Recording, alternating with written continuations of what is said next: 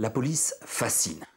La police inquiète également notamment à cause de l'image noire dont elle a hérité, une image noire qui est liée à son rôle sous l'occupation, aux missions infâmes que le gouvernement de Vichy, que la collaboration l'a obligé à remplir.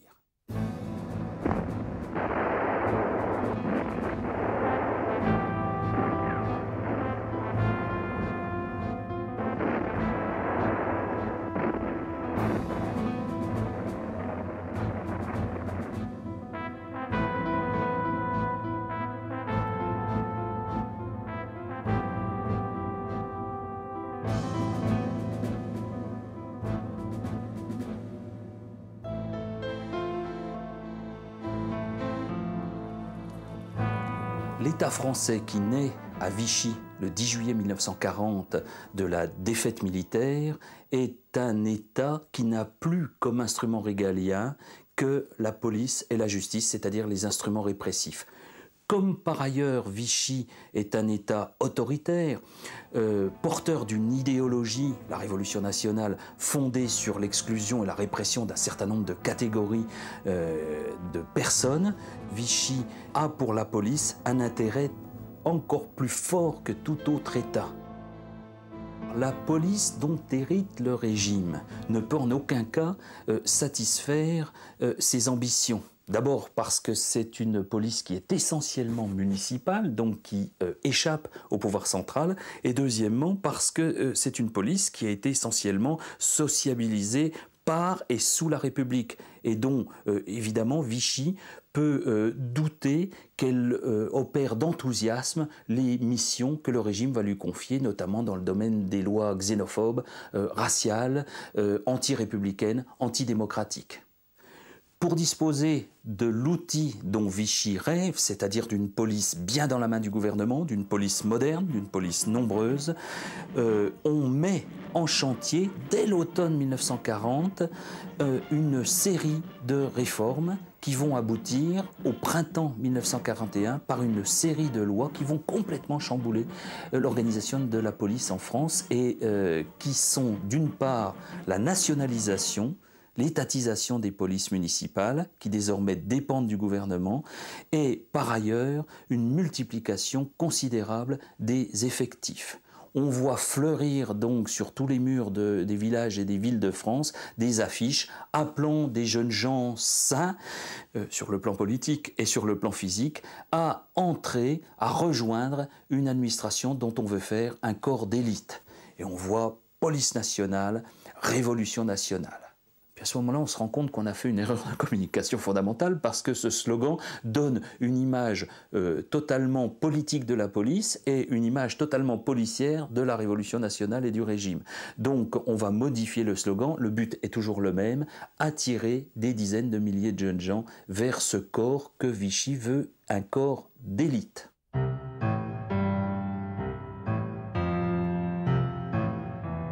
En 1942, nous étions toujours sous les drapeaux et nous ne savions pas quand ça se terminerait.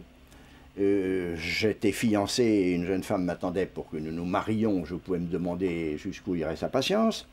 Et pendant l'été 1942, on nous a proposé une libération conditionnelle, si j'ose dire, en entrant dans la police. Conditionnelle, ça voulait dire que si, c'était provisoire, si nous quittions la police, il fallait réintégrer la caserne je n'avais jamais eu euh, la moindre intention d'entrer dans la police. Les rares contacts que j'avais pu avoir avec elle, c'était au cours de, manifestations. Et généralement, il y avait entre nous une pèlerine roulée ou un air de bœuf, et j'avais jamais été du bon côté.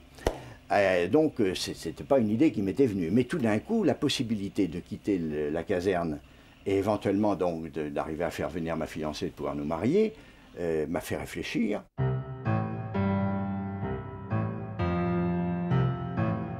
Eh bien, écoutez, je suis entré dans la police un peu par accident, par accident parce que ça n'était pas spécialement ma vocation, mais euh, je faisais partie des chantiers de jeunesse. J'étais rentré dans les chantiers de jeunesse en 1941 euh, pour être un peu à l'abri. Euh, et puis un jour, une publicité a été faite où on demandait des gardiens de la paix. Évidemment, pour ne pas être ramassé et pris pour aller travailler au STO, Bon, euh, j'en ai discuté avec mes parents. De toute façon, on m'a dit, bon, bah écoute, au moins tu seras à l'abri. Euh, étant gardien de la paix, euh, hein, je suis donc, j'ai donc postulé pour être gardien de la paix. Et puis, j'ai passé un petit concours, bien entendu. Ça se composait d'une dictée, un petit devoir de maths, quatre opérations, multiplication, et autres, la dictée, comme je viens de vous dire, et ça avait lieu à la PP directement. Hein, et c'est là que j'ai été admis, mais en fait euh, sans effort. Hein. Ça s'est fait. Euh, euh, c'était, symbolique pour ainsi dire.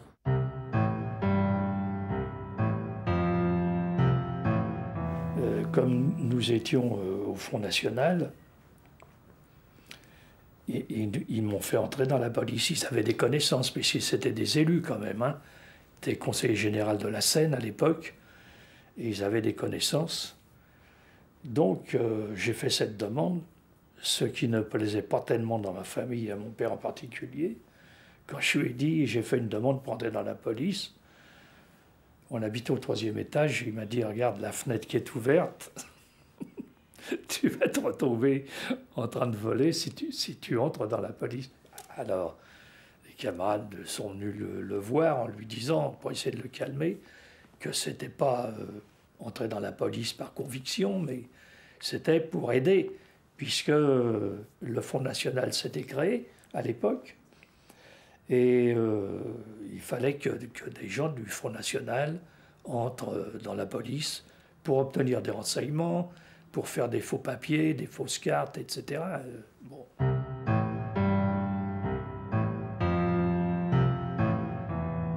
Alors, le premier jour de mon entrée à la préfecture de police se situe le 13 décembre 1942, à la suite d'un examen que j'avais passé auquel j'avais été reçu comme commis aux écritures. J'étais auxiliaire. Et peu de jours après, le préfet de police, on ignorait tout, nous, le préfet de police nous informe que la, commission d'armistice franco-allemande avait visité les locaux administratifs et s'était engagée, avait renouvelé euh, son désir de ne toucher aucun membre du personnel administratif pour le titre du STO. Donc moi j'étais absolument tranquille. Jusqu'à à peu près un mois ou un mois et demi après, euh, mon chef, un de mes chefs de bureau m'appelle en me disant euh, Vous êtes un des derniers rentrés, vous partez pour le titre du STO. Moi je dis Comment La commission d'armistice, etc. Alors il était un peu atterré euh, de, ma, tenue. Il me dit, mais vous allez voir du pays, vous allez apprendre la langue. Ça ne m'emporte pas, j'ai d'autres projets. Et heureusement, j'avais la chance d'avoir un deuxième chef de bureau, M. Forest. Je vais le voir, je lui explique, et j'ai dit, euh, j'ai appris qu'il y avait une liste en formation d'inspecteurs auxiliaires de la PJ. Est-ce que vous ne pouvez pas me mettre sur cette liste? Les motivations des candidats qui répondent à cette publicité euh, ne sont pas exactement celles dont rêvait le régime. Si quelques-uns, très peu nombreux, entrent dans la police par idéologie, pour participer à la répression euh, de l'anti-France. Euh, quelques-uns, la même minorité, entrent sur ordre de la résistance pour noyauter, pénétrer un instrument répressif de première importance. Mais l'immense majorité des euh, nouveaux policiers entrent dans la police tout simplement parce qu'ils cherchent un métier dont la stabilité, dont les avantages leur paraissent attractifs, surtout en cette période bien particulière qu'est l'occupation. Je me suis renseigné, il y avait un concours ouvert pour le recrutement de gardiens de la paix. Euh, je l'ai fait, c'était assez facile. J'ai été reçu second. Le premier était un instituteur qui, préférait se mettre à l'abri dans les rangs de la police. Nous avons fait un stage d'un mois de formation très simple. J'en suis sorti premier et l'instituteur second. Je dis tout ça parce que ça a été très important. Je me suis tout de suite retrouvé dans un bureau. Et ça, ça se passe le 2 novembre 1942 le 11 novembre, les Allemands arrivent. Ça, c'était pas prévu.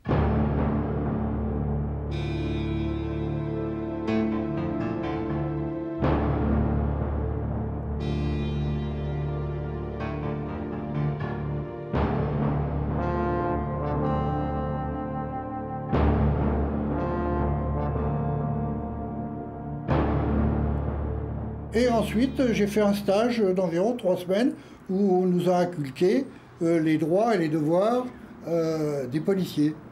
Hein. Ensuite de cela, on a suivi un entraînement physique, soit rue des Ursins à Paris, sur une terrasse où on marchait ou pas, on s'habituait à aller et venir, hein, soit aller au stade qui était près du Bourget, à un stade qui était près du Bourget, où on s'entraînait euh, au judo, à la savate, au bâton, surtout au bâton, parce qu'à l'époque, euh, c'était le bâton blanc que nous avions, n'est-ce pas? Et on avait une formation de, tir également au revolver, savoir se servir d'un revolver, euh, le charger, le décharger, le nettoyer, hein, et, l'entretenir régulièrement, parce qu'il y a eu pas mal d'accidents, où même des anciens se tiraient facilement une balle dans la main, et autres, et alors préféraient envelopper leur revolver dans un mouchoir ou dans un, tissu euh, pour, être à l'abri.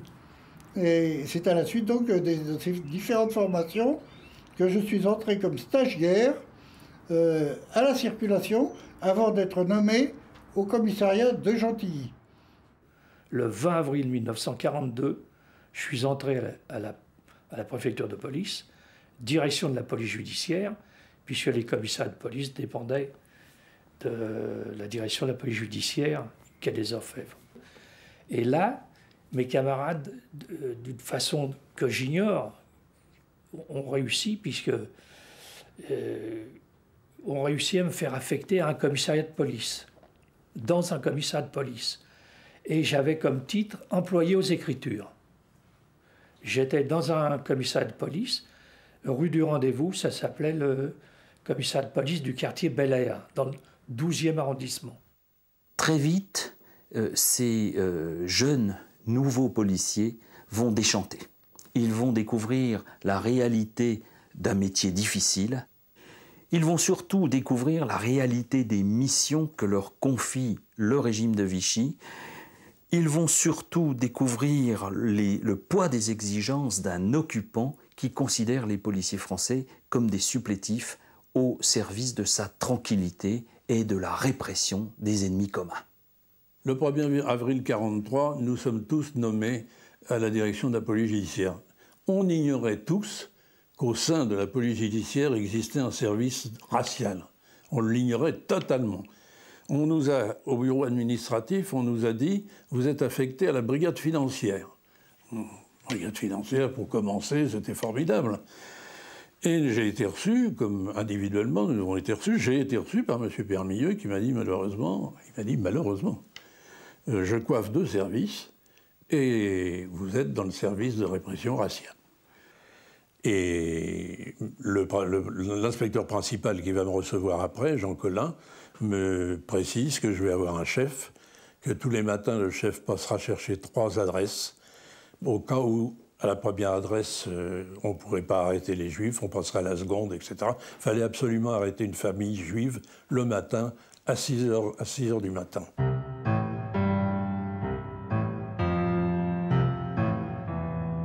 Me rends compte que euh, pour les, policiers comme pour les victimes, les choses allaient euh, progressivement. Hein, on n'a pas été plongé dans un bain d'eau glacée euh, du jour au lendemain. Les choses se sont faites par petites, euh, par petites fractions. C'était le recensement, c'était l'étoile, c'était une arrestation euh, d'un certain groupe. Et j'imagine que pour les policiers, il en était de même. parce qu'il y a eu les policiers qui ont, fait des arrestations, ils allaient prendre des, gens. Il y a eu les conducteurs de bus qui prenaient euh, les gens dans un autobus qui les amenait euh, dans un camp. Dans un camp, il y avait des gendarmes qui les gardaient. ensuite, c'était euh, probablement des, des mécaniciens du train qui les ont pilotés jusqu'à un certain endroit. Si bien que cette responsabilité s'est totalement diluée et on n'était pas conscient de l'ensemble ni de la finalité des choses.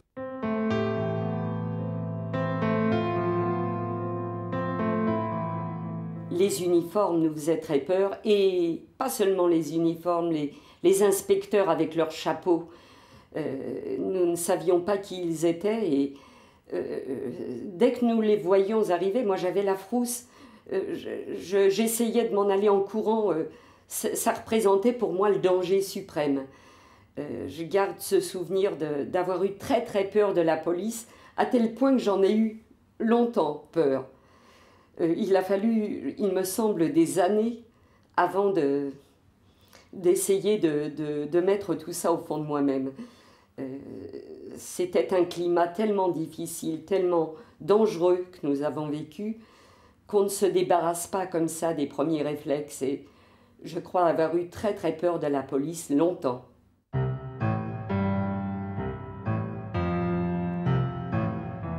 La peur. La peur parce que les policiers français, dans leur uniforme, représentaient la répression, la répression vis-à-vis des juifs, la répression vis-à-vis des militants, des syndicalistes, des républicains espagnols.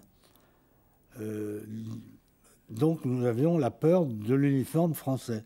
Et je me souviens très bien de cette euh, inversion. L'uniforme français représentait quelque chose de très sympathique avant-guerre, et brusquement il est devenu l'uniforme de la persécution et de la répression. À l'automne 1940, cette peur qu'inspireront les policiers français n'est pas encore entrée dans la culture des jeunes militants du Parti communiste, qui vivent, il faut le dire, bercés de l'illusion d'impunité que leur procure le pacte germano-soviétique. Et si ces jeunes militants ont encore l'illusion de jouer aux gendarmes et aux voleurs, il faut dire que les policiers eux-mêmes ne sont pas encore bien méchants.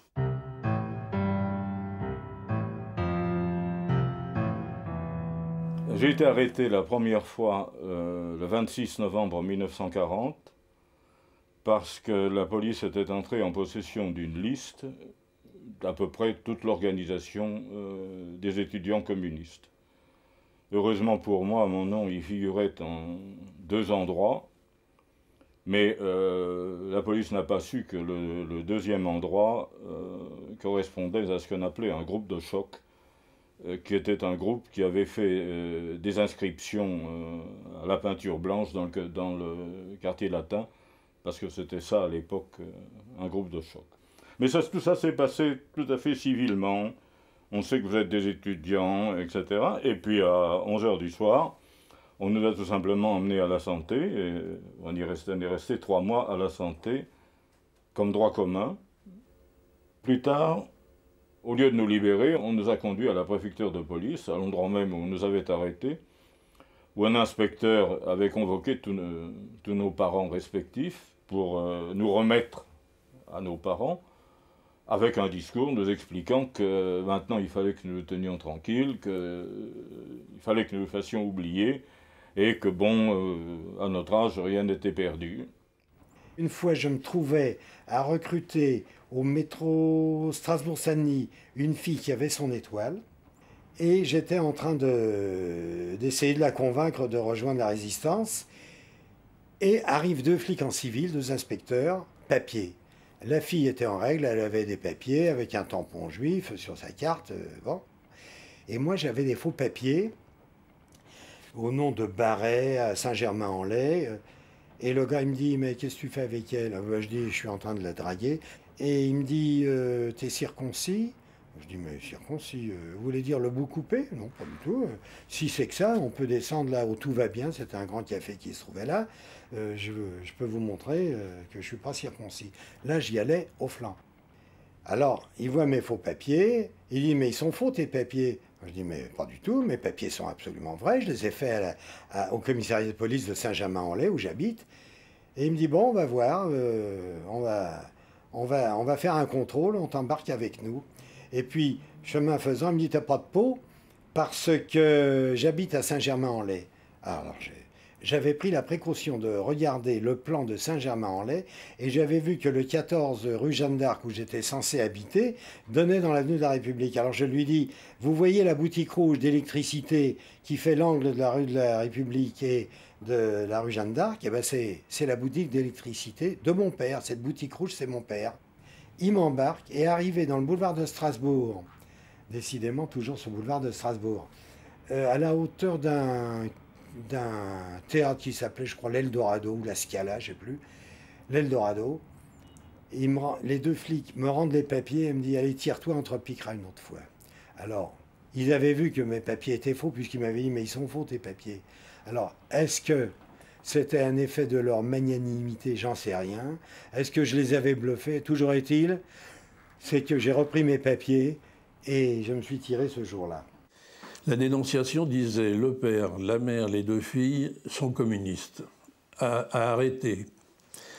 Alors nous nous sommes présentés et le père était déjà au travail. Seule la mère, deux filles et un garçon étaient là, étaient présents.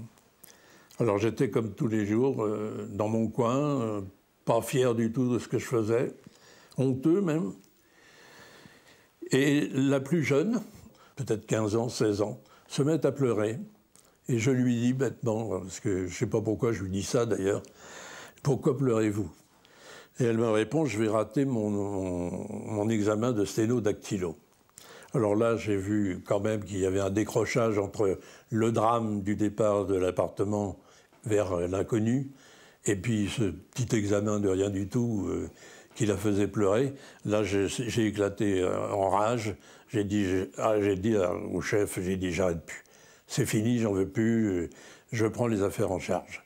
Là, il me dit, mais tu es fou. Je dis, non, euh, vous me prenez pour un fou, mais je, prends la responsabilité de cette chose. Et à ce moment-là, je me retourne vers Mme Kremski, parce que c'était pas réfléchi. C'était spontané.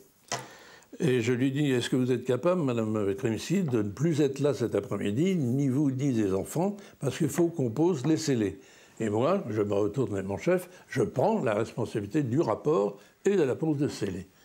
En fait, euh, ça s'est très bien passé. L'après-midi, je suis venu seul, j'ai posé mes scellés, tout le monde était parti. Euh, le rapport avec l'assentiment avec de mon chef a été euh, échelonné sur plusieurs jours pour faire croire à un acharnement euh, pour les retrouver absolument. Et j'ai fait un, rapport de vaine recherche. Mais c'est moi qui l'ai fait. Les discours qu'on nous tenait étaient quand même euh, orientés. Hein. On ne nous disait pas des résistants, on disait des terroristes. Hein. C'est bien deux choses, des choses, deux choses différentes. Or, dans notre mentalité, dans notre esprit de jeune, puisqu'à 22 ans, on est naïf et tout, on n'a pas cherché à comprendre au début. C'est après, euh, vers fin 42, où, on, a, connu vraiment la résistance. Hein. Euh, je me rappelle que de nuit, parce qu'on faisait les 3-8 en fait, euh, matin, l'après-midi, le soir. Le soir de 11h à 7h du matin, où il ne fallait pas s'asseoir, il fallait rester debout et arpenter l'endroit que nous avons regardé. Et on regardait à ce moment-là le, transformateur électrique de Villejuif. Hein et là, euh, il y a eu une erreur, une, erreur de manœuvre, ce qui fait que pendant un moment, euh, la place était vide. Hein, et quand on est sorti, il y avait euh, des résistants, ce qu'on appelait les terroristes à l'époque, armés, qui étaient venus pour, évidemment, faire péter le, le transfo. Bon, alors là, il y a eu un échange de coups de feu. Hein, J'ai ramassé deux balles dans ma pèlerine, une à droite et une à gauche. Et le brigadier qui a sauté sur le, le, soi-disant terroriste, enfin le résistant, hein, il a pris une balle dans la main et il a eu la main traversée par une balle. Alors là, évidemment, il s'est écoulé, le gars. Euh, et, oui, tout ça. Et voilà l'épisode, comment l'épisode s'est terminé. Et les gars se sont enfuis. Parce qu'évidemment, ils n'ont pas pu réaliser leur. Euh, évidemment, si un de nos collègues avait été blessé grièvement ou tué, euh, je ne sais pas quelle aurait été notre réaction, mais euh, en fait, je crois que c'était une réaction de colère que nous aurions eue euh, automatiquement. Hein. Et là, je ne sais pas si on aurait pensé que c'était ou des résistants ou des terroristes. Pour nous, c'était des assassins. Mais du fait qu'il y a eu mort d'homme, il y a eu une solidarité euh, qui aurait eu lieu et qui, aurait fait qu'on aurait eu un désir plutôt de, vengeance, on serait devenu plutôt méchant. Hein, dire quand même, c'est sale, c'est pas bien, c'est pas bon, c'est dégoûtant de, faire des choses pareilles, les gens qui viennent, alors qu'on est entre citoyens français. Hein, et il n'y avait pas de raison. La répression anticommuniste qui ne cesse de monter en intensité à l'hiver 1940-41 et au printemps 1941 va évidemment complètement changer de nature à partir de la rupture du pacte germano-soviétique, de l'invasion de l'URSS par les troupes allemandes et de l'entrée des communistes dans la lutte armée.